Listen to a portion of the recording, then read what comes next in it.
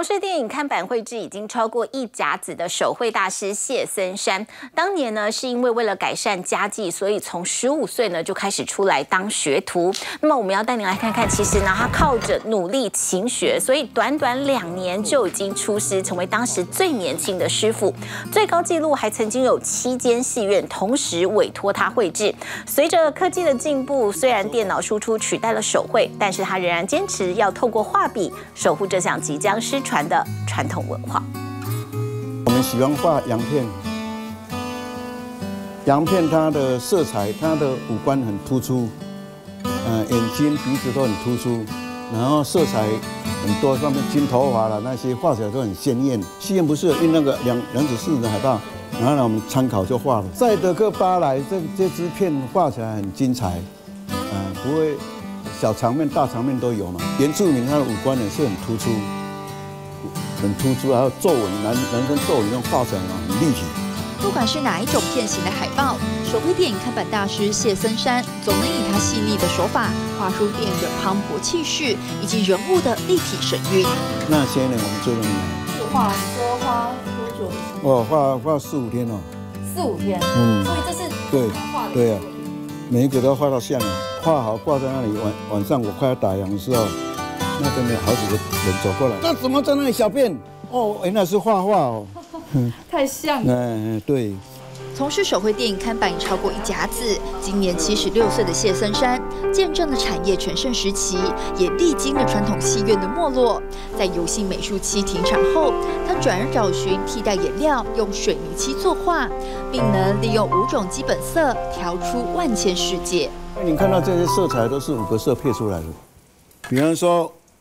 乌色、白、黄、红，叫下去配。我们要画以前呢，这里打格子，对，格子这么小嘛，嗯，然后我放大起来，格子比较大嘛，对，那土就比较大。然后我们轮廓都是没有靠仪器，都是靠这样眼力这样画出来。拿起笔刷，在描绘好底稿的画布上，利用颜色深浅层层叠叠，勾勒出脸部轮廓线条，也让武打巨星李小龙的脸变得越来越立体。因为是熟悉的人像题材，从起笔到完成仅需花约四个小时，而要能画得又快又好，全靠他多年来的经验累积。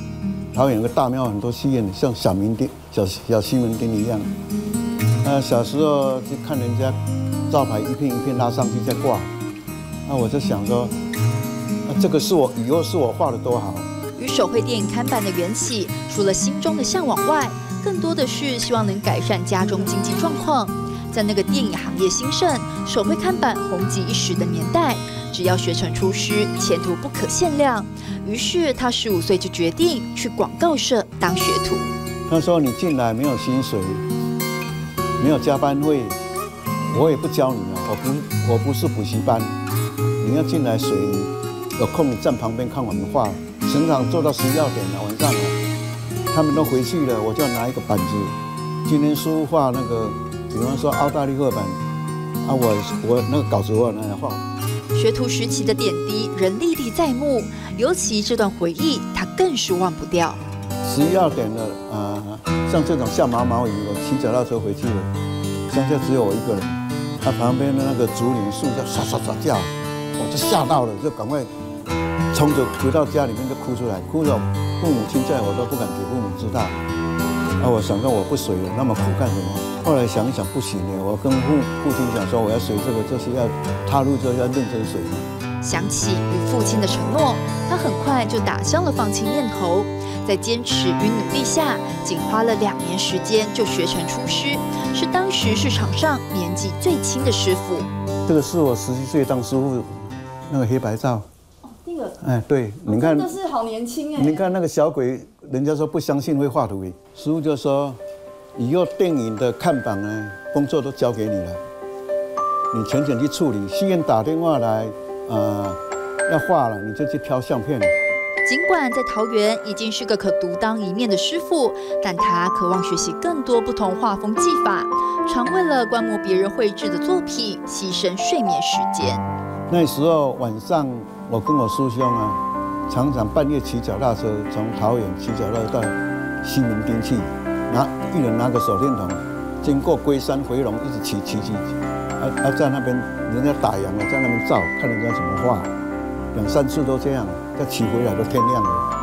终于，他在退伍后，二十二岁那年自行开业，纯熟的绘画手法让他最高纪录，同时有七家戏院委托绘制，还曾二十四小时不休息的赶工，获得了名声，也改善了家计。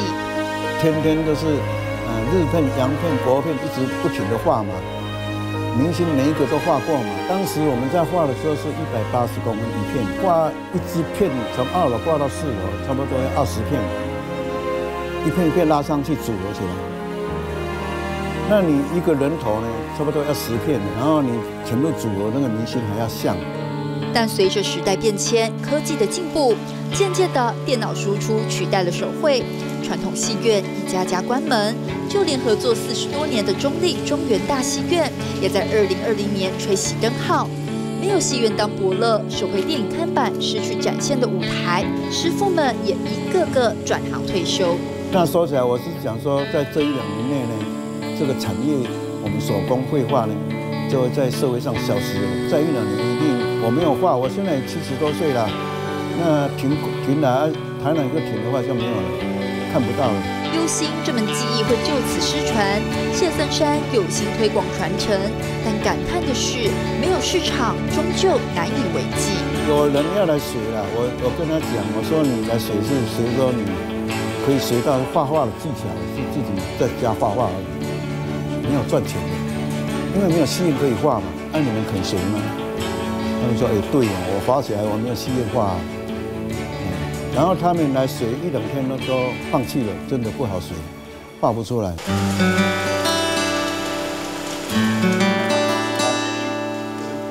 于是半退休状态的他，对于手绘仍有着满满的热情。近期偶尔会接些名人肖像画，手绘不仅是兴趣，也是他一生悬命的职业。叫我艺术家，我说不敢当，我不是创作者，不是艺术家，我是模仿画工。以前一百八十公分，就后面那个一片一片那个招牌，川外林青霞，呃，那个一个记者跑来叫我给他画，他说他要吸引了，要要要出书嘛，在台北要开记者会。叫我画，他当场送给他，我就画了。嗯，画林青霞，十七岁的时候。翻着泛黄的旧照片，回忆那个手绘产业繁盛的美好年代。画过的作品数量早已数不清，而工作室墙上挂着来自各方的感谢状，都是记录着他这些年来为了让更多人认识手绘魅力所做的努力。他穷尽一生磨练技能，将一件事情做到极致。这份一心一意的坚持，就是职人精神最棒的体现。